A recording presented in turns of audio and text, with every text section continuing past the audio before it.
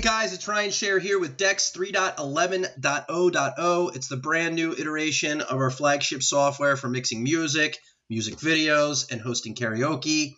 This is a quick demonstration of a new feature that's coming to 3.11. It's the ability to use shaders for on-screen visualizations uh, for those times where maybe you're just playing audio and you want something out on the screen that's nice and exciting and in sync with the music. At least that's most of the most of the time with shaders. That is the case that they synchronize with the playing audio.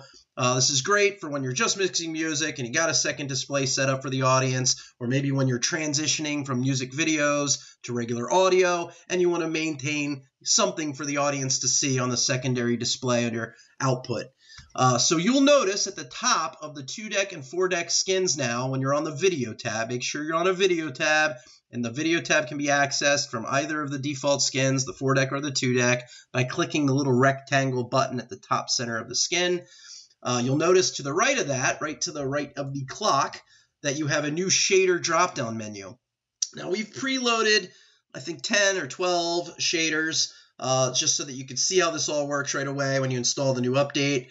Uh, however, what's really cool about these shaders is that shadertoy.com, that's shadertoy.com, there are literally thousands and thousands of shaders um, that you can use with Dex 3. All you have to do is browse the website, find a shader you like, and you literally just copy, copy the URL, the address from your address bar at the top of your web browser, and you add it to Dex 3, which you can do right under here. When you click the little drop down menu to view your shaders at the bottom, there's an Add a New Shader button. If you click that, it'll bring up a little box that's put in the URL, and it'll add the shader.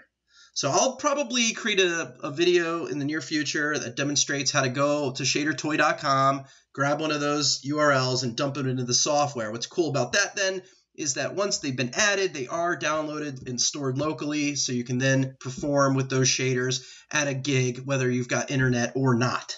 Uh, so let's just show you one. I'm gonna, from this drop-down menu, I'll grab one of the pre-configured shaders. As you can see, it's kind of going to show right display right away on screen, whether it's on your screen or the secondary screen on your secondary, you know, output. So what's great is these, you know, because they're drawn, shaders are kind of drawn in real time and they're generated in real time, they can be synchronized automatically with the output, the audio that's playing.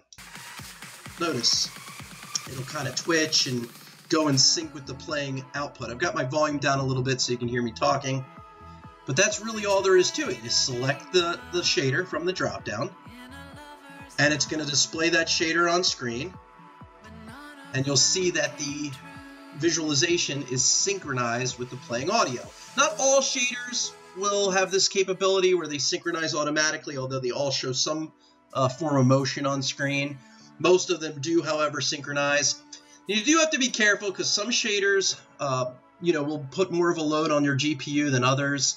Uh, if you notice any kind of sluggishness in the software, the particular shader you might be using may be a little too heavy on resources. Uh, but they come in all shapes and sizes and forms, and um, you know, it's it's really a lot of fun.